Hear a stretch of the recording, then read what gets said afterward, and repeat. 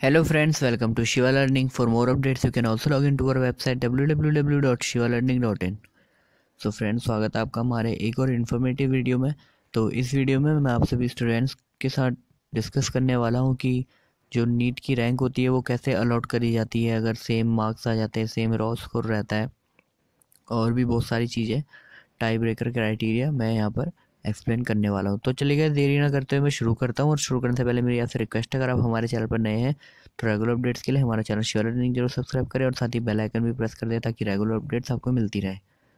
तो ये सबसे पहले मैं आपको कुछ मेन चार पॉइंट्स बताता हूँ, उसके बाद मैं एग्ज़ाम्पल सेट करके आपको बताऊँगा कि रैंक कैसे डिसाइड होती है नीट के एग्ज़ाम में।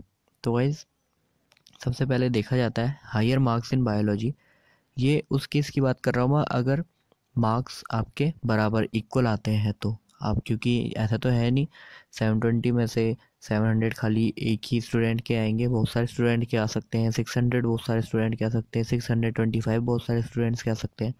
तो गाइस मैं उस केस की बात कर रहा हूँ जब सबके इक्वल मार्क्स हैं।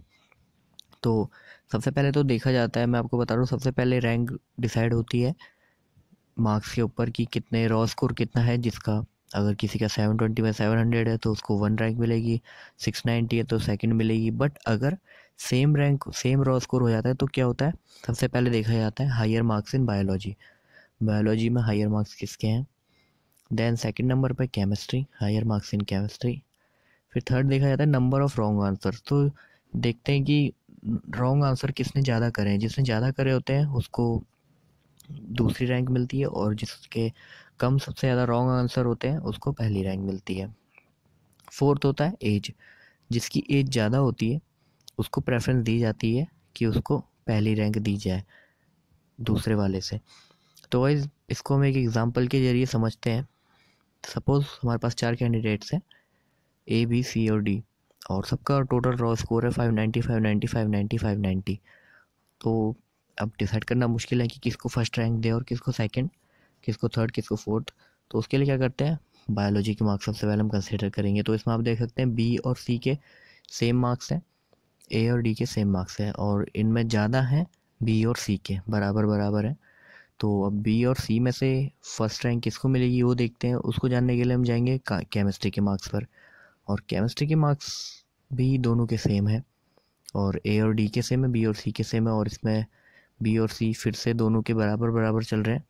देन हम थर्ड चीज़ देखते हैं नंबर ऑफ़ इनकरेक्ट क्वेश्चन तो इसमें हम देखेंगे बी ने ट्वेंटी थ्री आंसर इनकरेक्ट दिए हैं और सी ने ट्वेंटी वन दिए हैं ओनली तो जो सी है, उसको फ़र्स्ट रैंक मिल जाएगी यहाँ पे और बी को जो है वो फिर अब सी को फ़र्स्ट रैंक मिल गई है तो ए बी और डी रहेंगे खाली।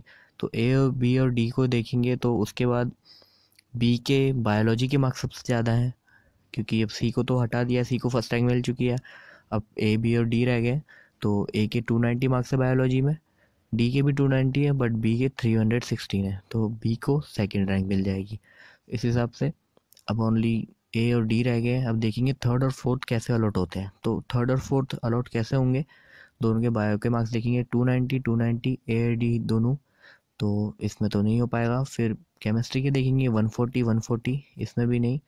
फिर देखेंगे नंबर ऑफ़ इनकरेक्ट क्वेश्चन इसमें ए ने इनकरेक्ट क्वेश्चन जो दिए हैं वो है थर्टी फाइव और डी ने भी थर्टी फाइव दिए हैं।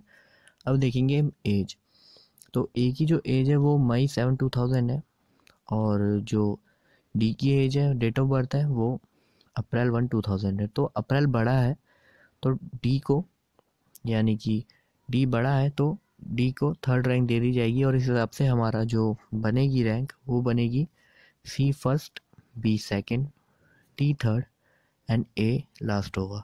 तो हम लास्ट में अब देखते हैं going by the criteria the NEET two thousand nineteen drack for the above candidate would be placed at C then B then D and A this is because B and C have the same marks in biology and chemistry but C has lesser number of incorrect question but because B has more marks in biology it is rank higher to A and D तो ये वही चीज़ें जो मैंने आपको बताई हुई है तो गाइज़ अगर समझ ना आए कोई भी इससे रिलेटेड क्वेश्चन होता है या नीट से रिलेटेड कोई भी क्वेश्चन होता है तो नीचे कमेंट करके बताएँ। हम उसका रिप्लाई करेंगे आपको और उसका सॉल्यूशन देंगे।